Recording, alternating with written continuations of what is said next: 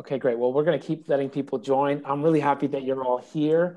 Um, Nicola, would you mind kicking us off? I wanted to uh, let a few people from the challenge mindset community say a quick hi, just so we can get a sense of who's using this idea, who's using these cards. I think it'd be nice uh, if you just want to say a quick hello. Hi, everybody. I'm Nicola Edwards. I'm a career advisor and coach from the University of Guelph. Um, and so I experiment uh, with the students using uh, the challenge cards to help them find their pathway. I also have a private practice where I'm experimenting um, using them with adults. Um, so I'm, I'm, deep into transitions with a high school, a, a, student, and two university students at home as well. So um, I love the cards. I have great conversations and happy to chat with anybody who's got questions. Great. So, Nicola, you got the higher ed, you got the private practice, you got the parenting. There's so many different ways to approach this issue.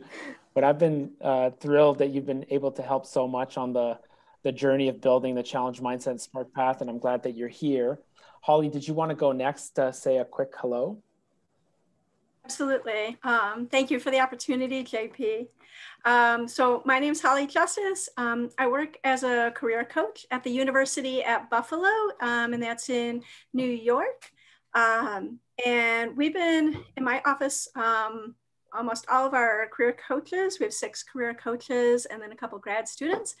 And we have them using the challenge cards. Um, in fact, we also have our career peers are starting to use the challenge cards in our studio model, um, which is sort of an open space. And so we've been using them for, I think, a couple of years now. Um, and similar to what Nicola was talking about, um, I it has made it a lot easier to have really interesting conversations with students, conversations I don't think I would have gotten to. Um, even with asking them like really open-ended questions and like engaging them. But with the cards, it really gives students, they don't have to focus as much on themselves. And so they're able to really start talking and they're not as stuck in trying to convey to me what interests them. And so we can talk about the cards instead of just them. Um, and it's, that really seems to open them up. Um, and we really talk about all these different themes and so really fascinating. Um, also, I appreciate what Nicola was saying because um, I am doing a little private practice work as well. And I'm definitely thinking about using the cards in private practice um, because I think they definitely can cut across different um, generations um, whether it's college students, um, which is who I mainly work with, um, but I can definitely work with others. So I, have really enjoyed working with um, these cards. It's, it's been really helpful. Thanks, Holly, for saying that. I appreciate it. I, there's a few key phrases you said in there, like open them up. But I also like the way that you said it, that oh, not focusing on no. themselves. Hey, Leah, welcome to the call. Hi, thank you for being here. Um, uh, yeah, not focusing on themselves, which is funny, isn't it? Because isn't that all part of our expertise? We're really good at getting them to focus on themselves, and that's part of the journey, isn't it? But for some of them, it is refreshing to take a labor market lens and think about the impact they want to have on the world uh, uh, first. And I've been thinking critically about that. What comes first? I have to tell you, all of my training, all of my mentors, usually the self awareness piece comes first. Um, but I've been playing creatively, or to use your word, Nicola, experimenting with uh, having the um, identity piece come second. And um, this is really early in my research, but I want to sh- uh, share this idea with you. The more research I do into what's called aspirational identity, the more I find I'm acknowledging at the front end the amount of change that these young people and and even adults you know some of us are doing uh, are practicing with adults right? We underestimate dramatically the amount that we will change as people. Our values our interests our strengths. Um, and this is a key message because if we start with what problem do you want to solve we can double down on that message to them and tell them that you can change who you are and who you want to be based on the impact you want to have on the world. And um, it's one of the issues I'm trying to work through uh, as I'm, you know, giving guidance for um, teachers, for example, who are sharing this mindset in schools. Um, I would say it's a bit early, but maybe on another webinar, I'll communicate maybe the, the academic research that I'm reading around that topic. And I'd actually love for you all to weigh in.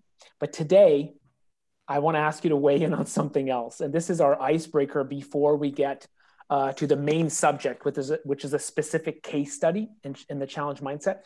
But my icebreaker for you all comes from my attempt at writing the challenge mindset book. And now that I've said it out loud, I'm accountable to a whole bunch of really bright people. And I know how dangerous that was, what I just did, but it's for my own benefit, if you don't mind. So, as I'm writing the challenge mindset book, which could be another tool that helps new people discover the challenge mindset, I wrote um, a, a blog post with the title Dream Killers. It's a heavy title, uh, but the title Dream Killers was about a story uh, in regards to uh, bad advice. Uh, Holly, I don't know if you gave me the applause on Zoom for the fact that I'm writing a book or the fact that I wrote Dream Killers. I don't know. I don't know yet, but I'll take the I'll take the applause. but I wrote a, a pretty dark post about bad career advice uh, that people have, have have been getting, and I actually asked people on LinkedIn, tell give me an example of bad career advice you've gotten. And if you read that post on my LinkedIn profile, you will be discouraged like I, I have a sense of who you are. I have a sense of why you're on this call. It's like you love helping people thrive. When you, someone like you, reads that thread of discouraging career advice, it's going to crush your soul a little bit, like it did for me. So I wrote a blog post called Dream Killers, um, and then I wrote the mirror post, which is Dream Builders. Dream Builders, and I'm like, oh, I love building people's dreams, and I wonder if that's you I wonder if that's us. I wonder if that's that's what we're called. And uh, I, I might be wrong. So I thought I would ask you in this format today, like I would literally ask you what you think about that phrase, dream builder. So I, I made a poll in Zoom. It might have popped up for you. And I'm really wondering if you tell me no, like it's not exactly that. It's not about dreaming, it's about something else. Or maybe you'll tell me yes, it's it's absolutely about dream builders. And if you don't mind, like I'd love to do like a let's do it quantitative qualitative. So we're getting some quantitative data with the way people are voting. But if i could also ask a volunteer uh, to share their opinion like uh, verbally out loud uh, and you can share any. You could share if you why you voted for yes why you voted for a little bit or not really or even that i would call myself something else. To you i would ask for a favor. I would ask you well would you mind telling me like another label? Because i'm very curious about what that other label could be. So let's see. We're 21 out of 27. So let me give a last call, last invitation for people. I don't know if those of you who are on mobile, you can see the poll like everybody else. Now we're at 23 of, of 27. I think that's pretty good. Um, so uh, while we get the final votes in, is there a volunteer, someone that would like to say uh, their opinion about why we are or aren't dream builders? Krista, do you want to go first? Yeah, it was an interesting question, um, JP. Um, but my uh, my gut reaction to it was no, not really. I I really feel like my role is their coach as they're building to teach them how to build. That that really is their work. Um, but my my job is to encourage, to support, to coach, to give them the um, the knowledge about whether it's um, you know, how to do an information interview or how to do self-assessments. So I, I see myself as the, the coach to their building, but I do feel like that's their work. So that was my initial reaction to that. Uh, I think you sold me. Uh, I think you sold me because I just heard it that way. Dream builder, like you're building the dream. No, of course not. We're we're showing them how to build their own dreams. Uh, that's really good. Uh, anybody want to convince me to come back? Because I yeah. think Krista sold me. I'd love to convince you uh, to come back because as soon as you said that, that really resonated with me. And I think the reason for it is as we help people get clarity on what they want, on their values, their talents, their passions, like the impact that they want to make on the world, I think that we are those dream builders with them because we're like, okay, what's the first brick? Here you go. Okay, what's the second brick? Here you go. And so all of a sudden you've like your dream building with them. And I think the other aspect of that too is we also give them that permission to dream.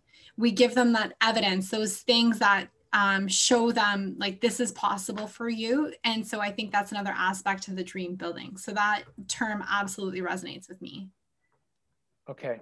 Uh, wow, this is tough. Listen, I got to put more thought into this, but I'm going to save these uh, uh, poll results because I really like the ownership piece that Krista mentioned. But Amelia, you're right. Like we have a role in that. Like, how do we acknowledge that they still have the ownership of that? Um, in the meantime, um, uh, I just wanted to take a second to introduce Sally uh, from the SparkPath team. Um, Sally just joined SparkPath. You're on week number two or three, Sally? Uh, I think I'm on week number three now, and it's been really great. So, hi everyone. As JP said, my name is Sally, and I just joined the team, and it's been as amazing as I hope you think it is. Um, basically, my job is to empower uh, educators and community people like yourself to give students choice and voice um, and empower them to build their own dreams or make their own dreams. Good point, um, Krista. Thanks for being here, Sally. I feel very lucky that you're here. I met Sally. Uh, this is a cool story I'll share with you. So, Sally invited me to present at a conference, a student led conference called the Legacy Conference. And she said, Why would you present at this conference? Like, what's in it for you? And I said, I'm going to present at your conference because I hope to recruit a student to my team. I'm going to make a presentation about how to get your dream job. And I hope that someone will take me up on it and come work for me and we can create their dream job for them. But what happened during the call was that I did two minutes of research on Sally before I spoke with her. And her profile blew me away. She had her own page that said, Hire Sally that explained some of the achievements that she had uh, achieved in her career. And Sally just graduated from the University of Ottawa. Um, and um, she had reached out to like some really important people to book them for speaking engagements for free. And I'm like, wow, this is a really thoughtful person. So I asked very provocatively the first time that we met each other, Sally, what are the odds that I meet someone that's better than you for this job? And I don't know what Sally must have thought. Who is this guy?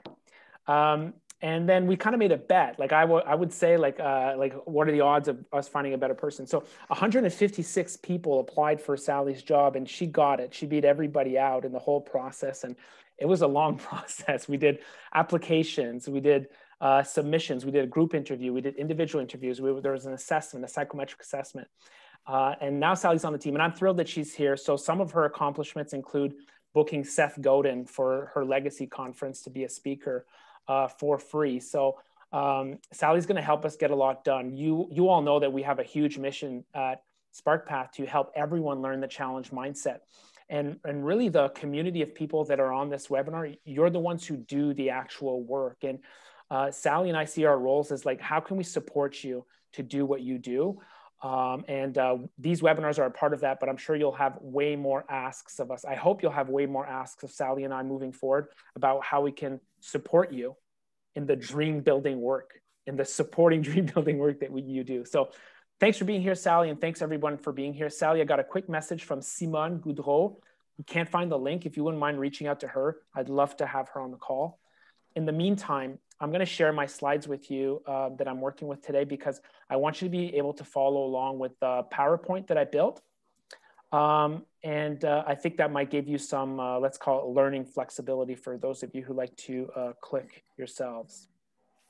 Susan, you wrote uh, Hope Holder and Possibility Generator. That's pretty good. Dream Coach. That acknowledges the coach aspect, which I, I really like uh, that suggestion as well. So thank you for that. Uh, so I'll definitely close the loop on that on the next uh, webinar and give you an update on that front. So those are my slides. For those of you who'd rather uh, follow along on my screen, I'm gonna do that as well. Um, and um, let's get started. Okay, um, the who are we part was about like, are we dream builders? So we've answered that. For those of you who are joining us for the first time, a big, huge welcome. Um, thanks for being here and for exploring this interesting topic. Here's my introduction to the challenge mindset for those who haven't seen it. We're coming from a, a place where career development was delivered in a linear way. We ask kids, what do you want to be? Uh, excuse me. We ask kids, what's your favorite class? Okay, you should study something related to that. Hopefully, you can get a job that's connected with it. You study biology, become a biologist, work for a biology company, and then eventually, hopefully, you realize what are you actually doing? What are the challenges you're actually working on, the problems you're trying to solve? Then you get there and maybe you're 10 years in your career and you figure out this is this is not it. This is really not what's for me. The invitation with the challenge mindset is to flip the model, which means showing people challenges they can work on first, the companies that are working on them, who works there, what jobs do they have, and what did they learn to be able to do that. So this is entirely new connection model. And today, what's really exciting about this opportunity is we get to talk about how do you make those connections? How do you do that research? And I'm going to do it live together on the call, exploring challenges, companies, jobs, education programs, and courses.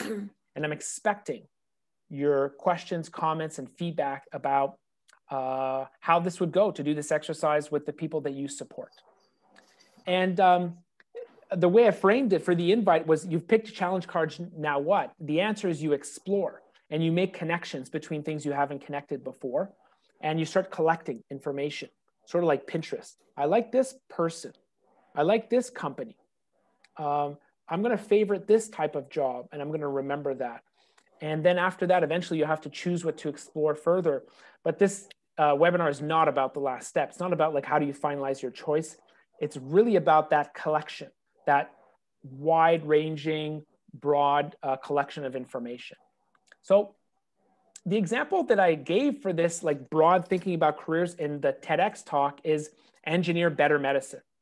Who works on this challenge? You have a project manager, you've got a finance person, you've got someone creating the uh, logo, someone cleaning the lab equipment, something, someone ordering the equipment, an HR person hiring the team.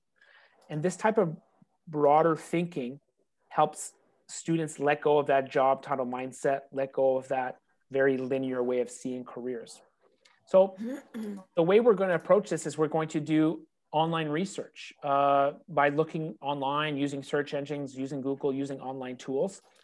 And for me, when I work with students who are especially young, I find that uh, this is new. This is a new process for them that involves some level of complexity. Some of you who coach adults who use the challenge cards, uh, some of the adults might also feel the same way that this is complex. They haven't done it before.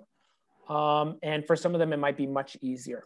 But I like telling them that at the front end because I don't want them to be uh, surprised on the back end. The reason I tell you that is because if we put ourselves in their shoes, they're coming from a world where everything was linear.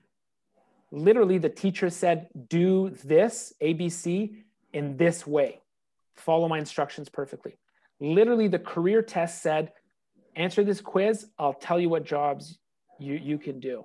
So, all their expectations are that things will be simple and linear. And we need to get them out of that mindset, in my opinion, for them to uh, make the most out of this exercise and when I was working and I was trying to watch myself, I thought, wow, like this is really an example of going down the rabbit hole. Like I'm going to find a company I like or a person I like, and I'm going to dig around to kind of see like what I can find or what I can't find. Uh, so there is some intuition here. You do get into some sort of a flow. Uh, sometimes you go fast to kind of like uh, just follow your gut. And this is very different again than the analytical, very linear approach that we usually take on. Okay, question for you before we start is I want to know like how would you prepare your students for something like this?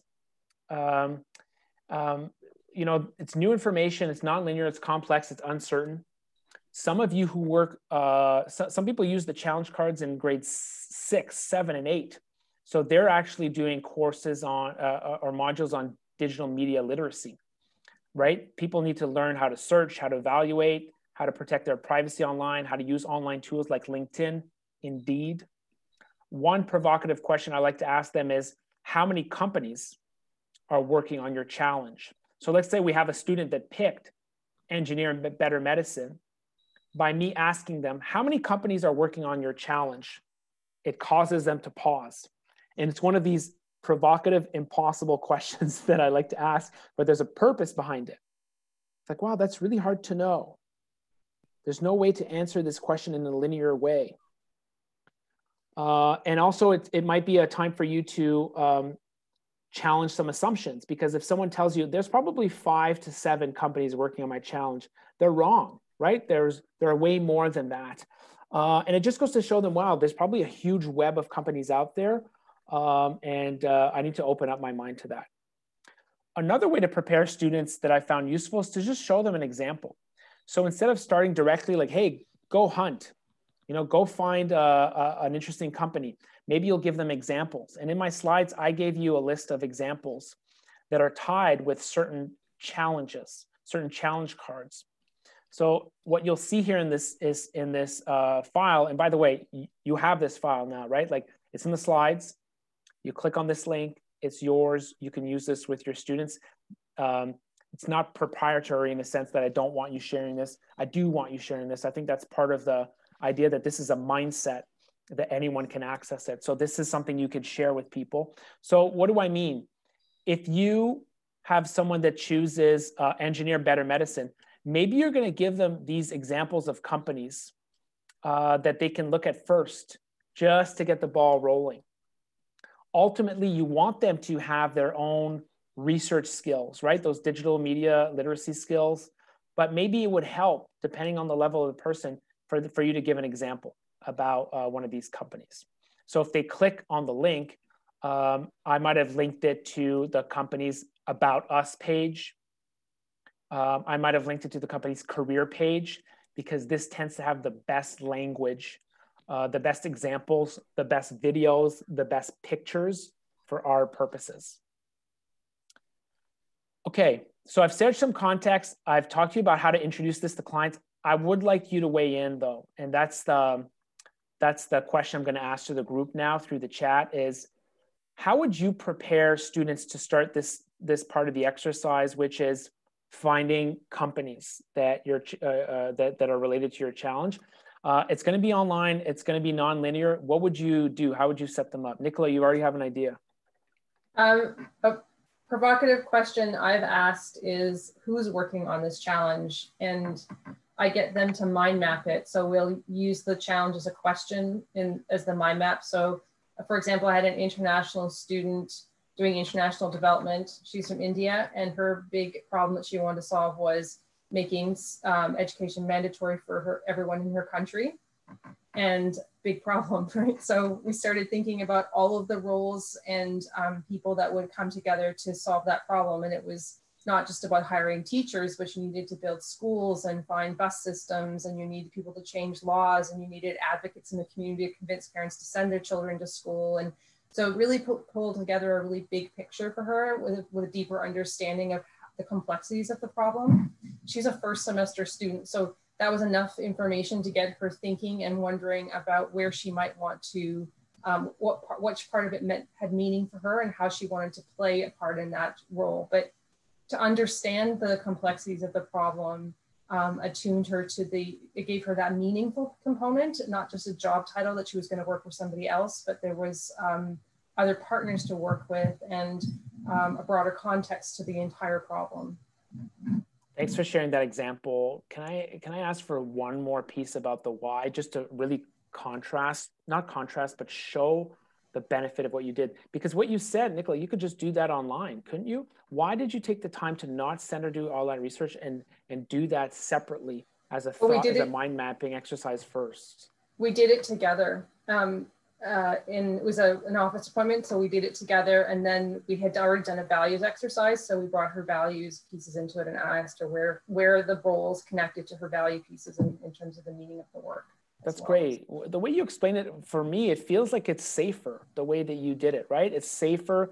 It's like, you know, the learning principles of starting with the, what the person already knows, getting that down on paper. They, you know more about this challenge than you might think, exactly. right? So eh, I like the that suggestion yeah. that you gave because it really gets the ball rolling. I think it also opened up possibilities right? As opposed to looking for something that's certain, that job title piece, it's always that certainty piece that you're trying to hang on to. It, it just broadened and built, built the whole um, problem and where she could jump in. Great. Um, what other questions, comments do you have before we uh, keep going? I had just a question then of the practical next step. Like, once she even focused in on one, like how do you like tangibly help her find those companies? I mean, is it putting certain words into Google?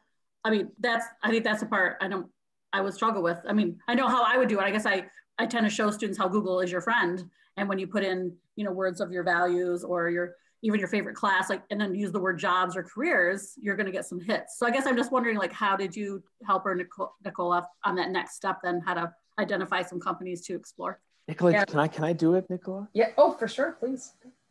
Great. And then you could tell me how how you would do it after. Well, Krista, the simple answer is that in this that? the simple answer is in this scenario we didn't get that far. Being a first okay. semester student, it was that was enough for her to take back to chew on, right? Because uh, but I, I would have some tips. But I'm totally interested in hearing how JP would.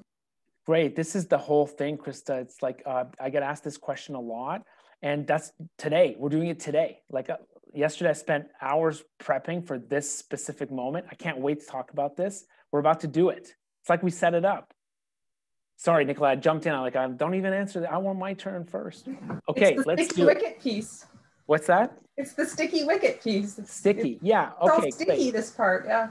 Okay, so let's let's tackle it because um, it's sticky, but there's so much potential here. And once students feel empowered to to tackle this on their own, wow, this is a lifelong skill that they will get. We're we're going to do three students. I I really hope we have the time. The first student is Preeti. The challenge she picked is distribute the wealth. And uh, so how did she even pick distribute the wealth? Well, I think you know this part. It's because she used the digital challenge cards or the physical challenge cards, or if you don't have the cards yet, she she got a copy of a magazine, and for some reason, there's um, uh, this specific challenge speaks to her. Okay, distribute the wealth. What's the first step? Well, learn more. There's already some uh, chewable, meaty research for people to go out and discover there. Um, so, um, so she read money and resources are unequally distributed among different people and countries. Yes, this speaks to me. Okay, I want to change this. Okay, so um, Krista, you guessed it, right? Uh, I will try to see if Google can be my friend. So I literally do distribute the wealth and I search that on Google. I like to write the word companies. Uh, and in fact, sometimes the word organizations is a little bit more appropriate. Um, I would think about this sector. I think organizations even better. So organizations that distribute the wealth, I think that's a great start. So now students are poking around, right? And usually I, I get some good hits right at the beginning. So Krista, how's my screen size, by the way? Can you see that? Yeah, good. Okay, great. Because that's the format that we're going to do. So now I'm looking for a list of companies that close the wealth gap. Wait a minute, close the wealth gap. Is that the same thing as distribute the wealth? Not linear, right? We're in full exploring mode. We're going down the rabbit hole. We're committing to doing some research. Oh, cool. There's a company that strikes debt. Uh, that's a huge problem to solve, isn't it? Uh, a non, here's another one, a continuous charity, a nonprofit dedicated to supporting Muslim American students and integrating them into society. Interesting. Donors Choose, a nonprofit dedicated to supplying materials to public schools and students. Boom if I'm Preeti, this is it. I like this. Let me go find out more about Donors Choose.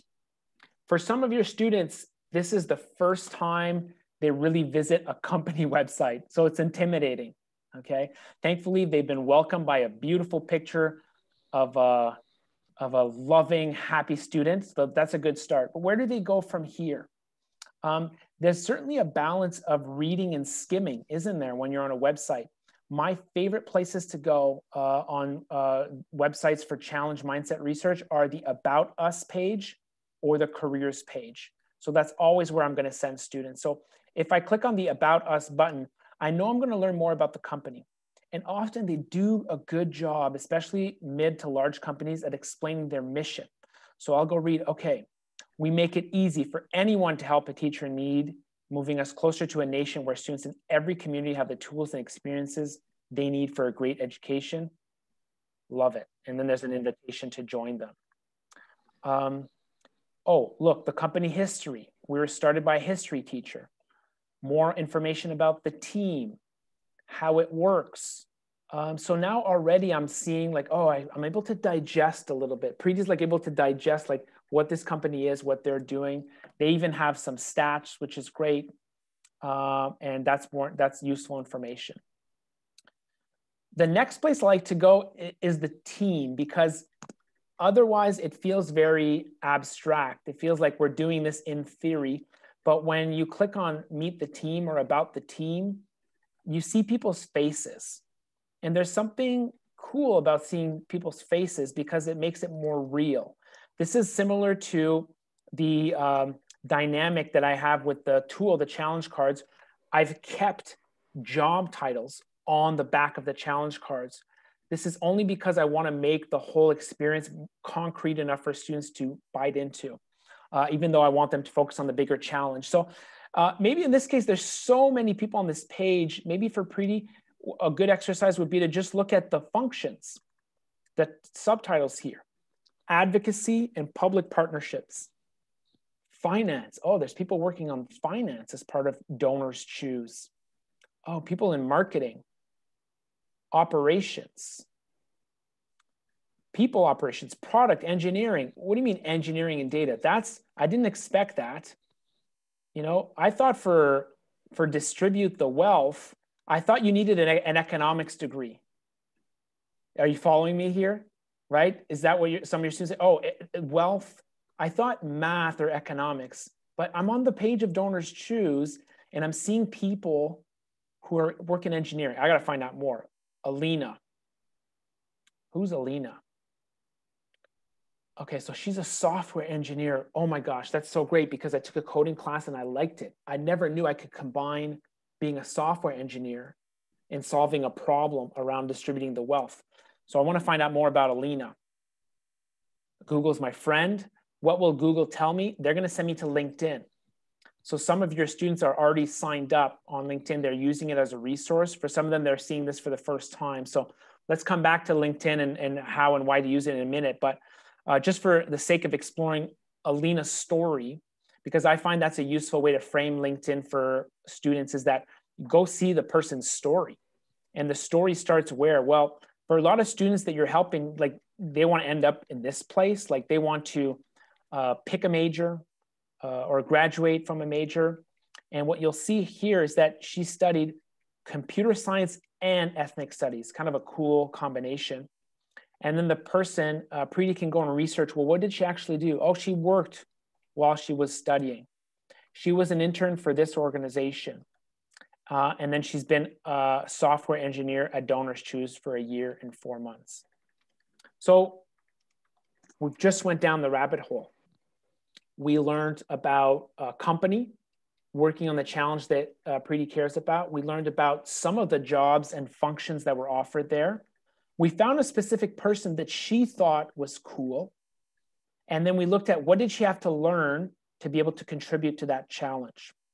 So I want to pause there, get your thoughts, questions, comments, reactions.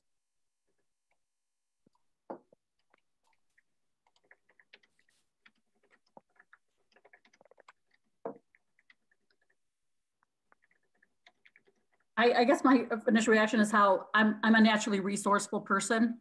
I, I love this kind of stuff. I love to dig in and research and, you know, how do we help young people like get excited about that being the investigator, you know, to, to be like, you're on this, the scavenger hunt now, you know, trying to find it. And, and I, I say that kind of, those kind of things to my clients or my students, but I find that some of them aren't as naturally curious or something. They seem to, maybe I need to break it down into demonstrating it more thoroughly like you did so they see the results and i have i guess i'm, I'm just always surprised that people like they seem to get then stuck at that step and then you know they kind of are in that holding pattern for a while. So i don't know how to get them over that hump sometimes of that exploration. Yeah because they want to go from the self-assessment right to like i need a job. It's like oh no there's this really important piece. That's so great. I love I, that's, that. that's just yeah. still the i get my students get stuck there. If i can make a guess i'm guessing uh, the research uh, queue of this group is in the highest you know quartile or even more and you're right we do support people who are at, all parts of the distribution of their skill and motivation to do that research so can i open that question up to the group how do you get someone to buy in, become interested, get motivated. The example that we keep coming up is, is, um, is doing an example with them. So we've already got that as a suggestion. Anybody else have a, a suggestion or idea that would uh, help unlock a student or open them up to doing this type of work? I'll, I'll jump in. Um, so I'm Carrie from the uh, McMaster University Career Counselor. Um, and I find sometimes just giving them permission or letting them know that we're going to be in exploratory mode. This is just going to be fun. There's no expectations really. Let's see what we can find, but we will get to something concrete for you. Like just sort of letting them know that we are going to get there because I do, I find some students when they're exploring, they, they're still anxious about finding the thing. So just sort of letting them know that we will get there um, but let's just have fun, see what we can explore. But I think JP, your your process was very nice and clear. I think it was there was a process to it in its exploration and its curiosity. So I think having some structure within the exploration, I think would be is great to help sort of find that larger group of like to fit a lot of more people into the system or or have people feel comfortable with it. So I like so that yeah. It's like you the way you said like primes them to, to be in the right mindset. So either say things or do things help prime them. And i'll I, in, a, in a further slide i've got some of the principles summarized that i used during that that research. And i want to do two more with you today uh, to test out those principles but thanks for sharing that comment. Jennifer did you want to go next yeah, I was, thank you. I was just going to add one more thing around um, how to increase the motivation. And what we found is in a group environment, if you get them to do it for other people, it's easier to go down the rabbit hole for someone else uh, than it often is for yourself. So we've been doing this. I mean, a version. I think I talked last at the last um, webinar about a version of this using a Padlet board. So you get the people in the group to work on other people's challenges and help them out. That's fascinating. But Jennifer, doesn't that tell us something about why people aren't doing it in the first place? Like, if they have the ability to do it uh, for other people, uh, how come it's harder for them to do it themselves? Is it like what are we overcoming? Is is I don't know if you have any insights on that, or if that's just something we should keep thinking about. But is it fear? What do you think it is? I think I think it could be fair. I think you know sometimes when you've thought about an idea, you might think about it in a linear way. Um, it can be hard to to come up with those kind of wild ideas when you're trying to imagine yourself doing it. Hmm. Um, and, and an example I'll give from a class was um, oh, I'm not going to get it perfectly right, but there was a woman who had said something along the lines of communicating ideas and emotions. I think that was her top challenge, but she wanted to uh, work in journalism in a very specific area. And someone commented that she should um, pilot it out with her grandmother or something like that. And, and she responded saying, I would have never thought of that, even though it was right in front of me. Um, because in my mind, I'm thinking I need to go all into this. Mm. And so someone was able to offer her an idea that was like literally right in front of her, but she hadn't given herself permission to consider. That's a really good uh, description. Thanks for sharing those that example. And this whole idea of doing it for someone else, that's I, I love it. This is why this is community. I'm so thrilled that you're all here because you've taught me so much about the challenge mindset over the years. Some of you who have been here from the start, you know literally the amount of challenge cards has grown because of your ideas and suggestions, but also the techniques like that one that you just suggested, Jennifer. I hadn't thought about that either. So I love it. Thank you for throwing it out there. Uh, we'll have to find a way to uh, get that idea into our educator guide as a suggestion uh, for how to do this types of, of research. Uh, Krista said uh, there's a new level of accountability when the process is spelled out versus when it's just an idea or dream. Yeah, and I hesitate with how much I should spell it out. Um, so um, I'll show you like more about the, the, the principles later versus keeping it open-ended. And Jennifer, it can also be hard for students to identify their own strengths and to envision their own success. Yeah, we do have blockers when it comes to that, don't we? Uh, but I think one of the core messages behind this entire thing is the world needs you. Uh, and the world needs you. And that that's not always an easy message to hear for your students who have been hearing the opposite for most of their lives. Uh, but I feel differently, and that's what motivates me to do my work. Is that I really think there are so many challenges, problems, and opportunities out there, and the world needs our students. Um, and uh, it's an exciting thing that we get to help them discover that.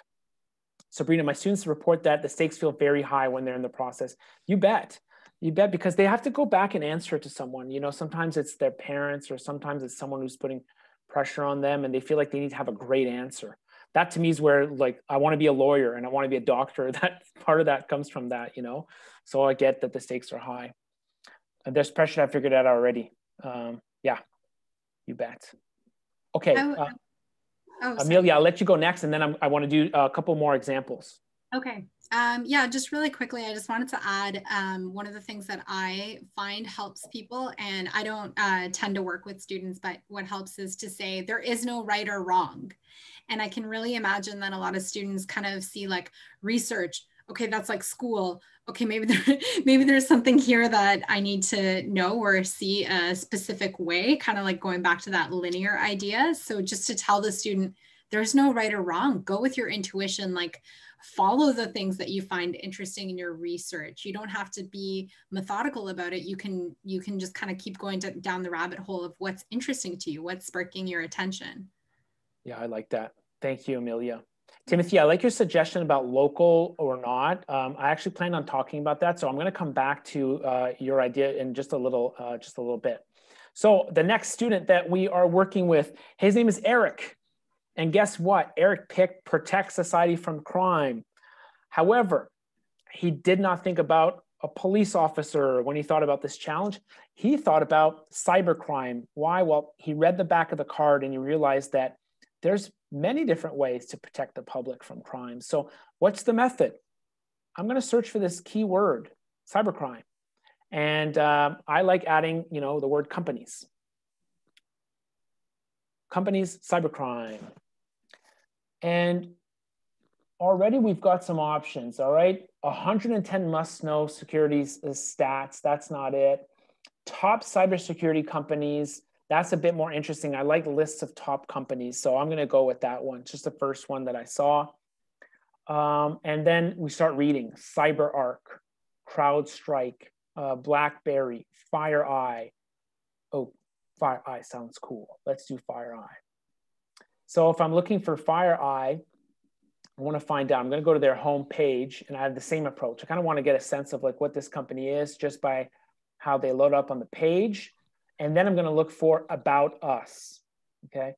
They used a different word here. It's not called about us. I had to go company first before I went to about us. So uh, this is something that students need to learn, right? There's no, there's no easy roadmap that all companies will follow. But if I click on company and then find the fire, uh, uh, uh the about us, there's always these great um, videos, like inspirational videos from the CEO. Uh, and sometimes I think it's useful to tell students to actually go watch that stuff because you want them to get that intangible energy, right? When they're here for um, uh, for for inspiration. And uh, you see these guys have, um, you know, animated graphics and um, uh, they've got this, what does this mean? Relentless protection. These threat groups were newly named by FireEye since 2017. Threat groups, what does it mean? Let's find out. APT 38, suspected attribution, North Korea, target sectors, financial institutions worldwide, boom, everything got really concrete all of a sudden. Our analysis of the North Korean regime backed threat group, we're calling APT 38, like that's exciting. Cyber heist. Maybe that's something that the person's interested in. So they can read more about that specific uh, uh, problem that they ran into, the challenge that they're trying to solve. Again, I eventually want to direct them to um, the uh, careers section. Okay, Depending on the age of the person you're working with, you click on, you could click on job opportunities or internships. Uh, I'm gonna click on internships for sure because um, uh, the, the language tends to be the simplest language that you'll find on the website, the most direct explanation about uh, what they do. Uh, and then again, interns, great, someone's face, it's a real person. And they're young, you know, they're like me, great. Sophia, so maybe uh, Sophia caught Eric's eye. He wants to know more. Sophia, threat intel analyst intern. Awesome. Let's see. And again, uh, when I search for more information about Sophia, her LinkedIn profile comes up and we get to see her story. Now, to see this, you need an actual LinkedIn account. So we need to talk about how to set up a LinkedIn account and who that's right for. But I want to see Sophia's story. Uh, what did she study? Oh, her undergrad was in international relations. Oh, that's different. That doesn't say cyber crime or cybersecurity. Her master's when in security studies. Oh, maybe this is a grad school, uh, something I could do specifically in grad school. And then the student can actually go research what is the program like at Georgetown uh, regarding security studies. And then he can see actually uh, what Sophia's background was, what she did before. And one thing that the student I think will notice right away is she doesn't work at that company anymore. Okay, so it was an internship. It was four months. Great. Where is she now? Mitre. And now, are you seeing like how we're in the rabbit hole now? Okay, Mitre. Maybe she's decided not to keep working at um, FireEye because it wasn't that good. Maybe she thought Mitre was better. Uh, I already like the fact that Mitre has a careers tab. Uh, they have an actual student program. Well, that's pretty cool. Student program, you can make a difference at Mitre. I like it. And you could, there's actually frequently asked questions here, co-ops and intern, recent grads. They have campus events. Um, this is good. Recent graduates, student voices. Um, uh, I like it. Very interesting. Some of you who are asking them to connect with people, you're going to sh share the fact that guess what? You can actually send an email to Sophia. Here's how you find out what her email is at Mitre. You can send her a message and you can ask her, what's the challenge that you're trying to solve? Uh, how did you get to where you are today? What advice do you have for me? And then that can help the whole story come alive for the student. So um, I'm going to check questions, comments, reactions to our second case study where we explored cybercrime.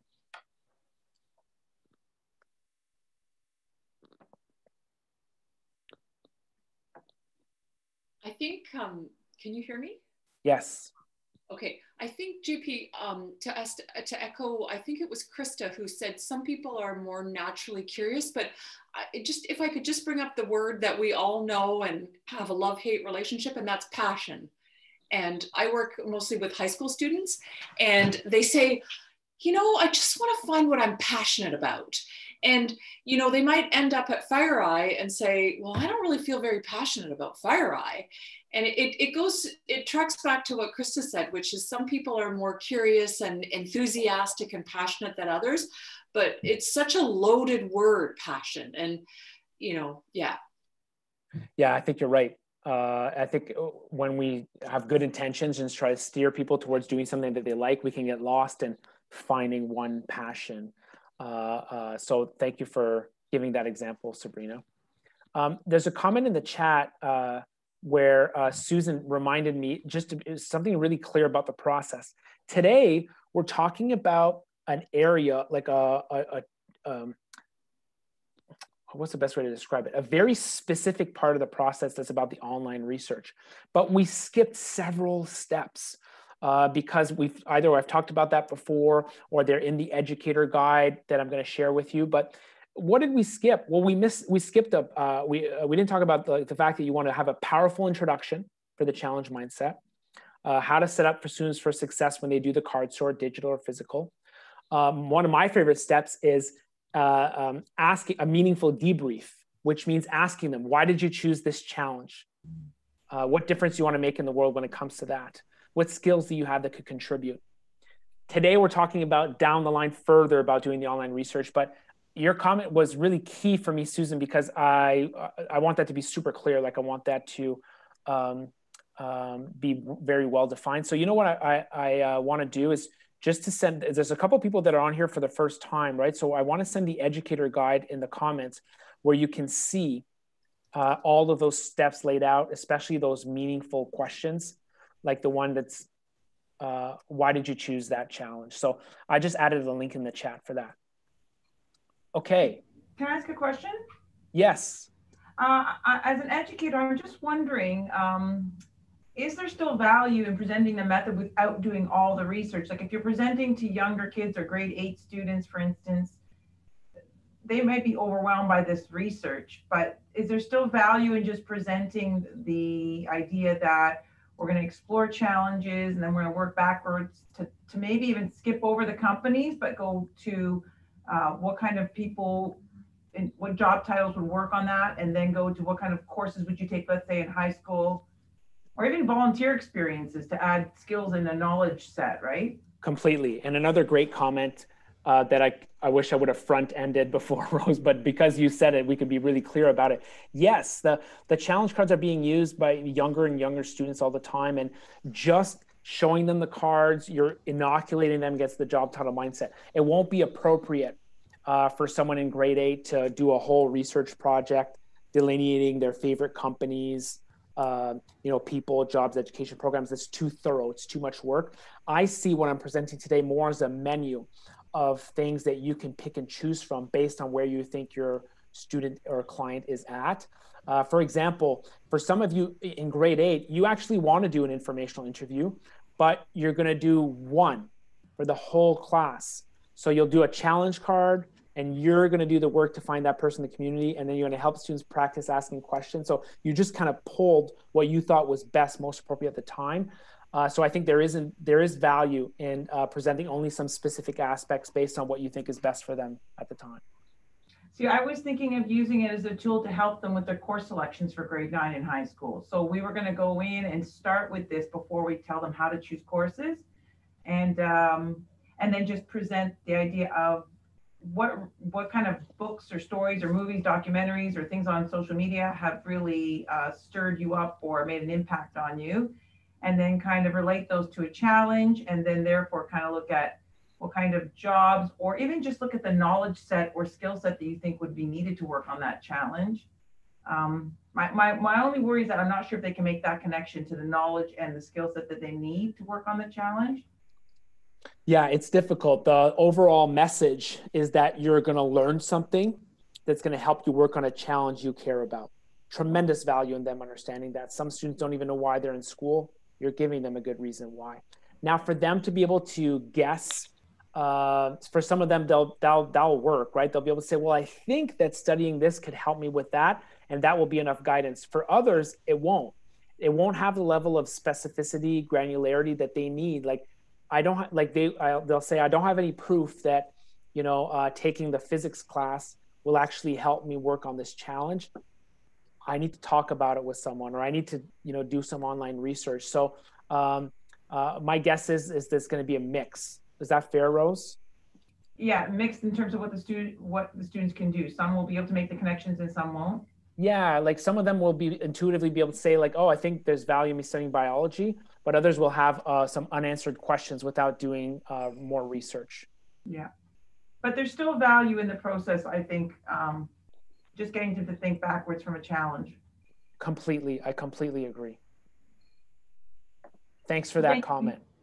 Let's do uh, one more. I want to show you one that's in the skilled trades. Uh, so now we're shifting to talking about Stephanie. Her favorite challenge card is using special equipment. So she picked special equipment and she looked at, and instead of finding a word that connected with her, she started with a job title.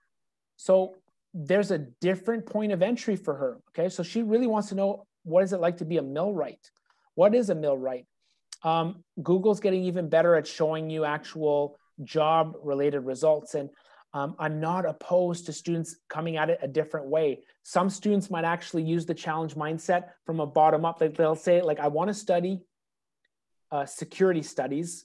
What kind of challenges can I solve with that? Um, sometimes it's good to ride the wave and kind of follow their thinking to see where it leads them. So for me, if I'm seeing millwright jobs, they're showing my location, by the way, I'm in Ottawa. So I see one here for CertainTeed.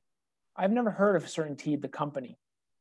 But when I look them up, what am I going to learn? Okay, great. Products, design, responsible learning, pro center, uh, interesting. Okay, so right away I'm seeing very visual uh, opportunities to use special equipment to design what homes. It sounds like a residential home company. Um, so there's all sorts of products that I can check out. Uh, but again, if I uh, if I want the student to actually learn and do more, I want them to focus on the uh, About Us page so they can actually get more information. So uh, About Us, sometimes it's at the top of the page, sometimes at the bottom. Uh, I like the uh, careers page as well. and then there's a whole bunch of opportunities if you want to look at careers. There's actually jobs listed. If you search for jobs, you find out that they're connected to a bigger company called Saint Gobain or Saint Gobain. And I watched this inspirational video here, and uh, I think that'll get your students motivated to uh, have a career in the skilled trades because it shows the impact of the skilled trades in a really emotional way. Uh, and uh, anyways, I thought the video was great. And uh, there's more stats, there's featured careers. Uh, and again, you can see all sorts of different opportunities that exist for Stephanie. Um, I had more here to show you in the rabbit hole, but I shouldn't go uh, past our time together uh, because uh, I really respect your time and I'm really glad you're here. And there's a couple more things I want to show you before you uh, take off. So um, using my slides, uh, you actually have a list of uh, principles that we described today. Whoops, sorry, I stopped sharing. Let me show you the list of principles that I had in mind.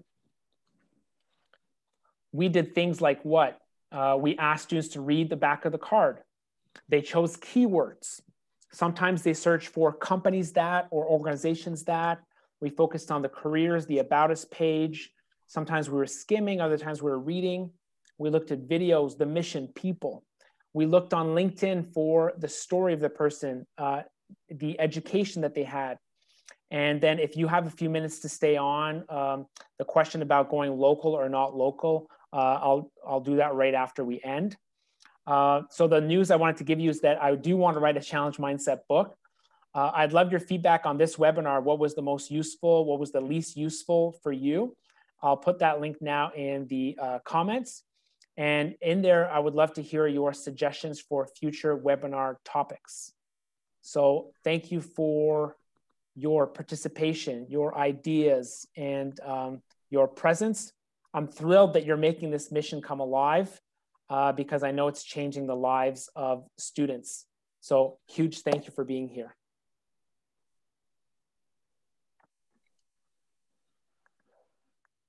Lucy asked, is this also available in French? Uh, the whole tool is available in French, uh, Luce.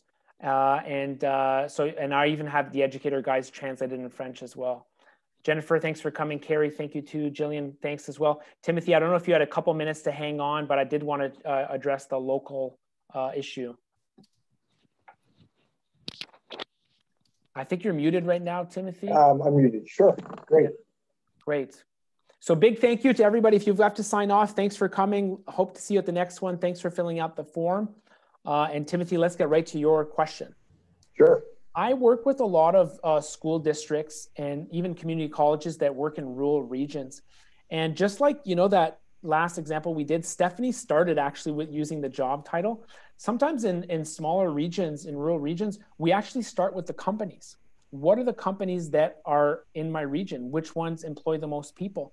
And then we go directly to their websites. And then we infer what are the challenges that they're trying to solve based on right. the mission of the organization. So right. uh, i read a lot into your suggestion but how does that connect with the idea it, that you have? it, it, it, totally connects. Okay great. yeah, it's, it's great. I, I, I like that idea. The issue is that it's inferring the challenge that the um, companies working on is, is, is very difficult for students. So what's the best way to prep them? Well, I think it's by doing the challenge cards exercise. So they do the challenge cards exercise, they kind of absorb that way of thinking. You know, they see 53 examples of challenges to solve.